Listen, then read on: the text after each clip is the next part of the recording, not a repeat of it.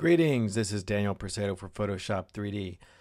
I just wanted to go through Photoshop 3D and kind of give perspective on how to approach it if you're coming from it from a photographer's perspective or even a designer's perspective.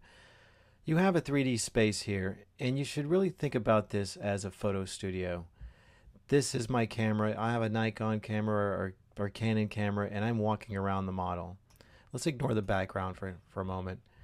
This object would be your model this is you walking around the model, looking at the model. I'm going to click on it. You could say, hey, model, move around. Model moves around. Click again, it'll select the material, which would be the makeup, the clothes, all those things. So if you approach it in that manner, and the lighting is, you know, just like lighting in a studio, you would prep all kind of lighting or however you want the lighting in the studio. And if you look at it in that context, 3D is not that difficult or different than working in photography. I just wanted to throw that out there as a kind of a different approach or a different way to look at 3D rather than computational mathematics, 3D Max, Maya, Modo, however you want to look at it.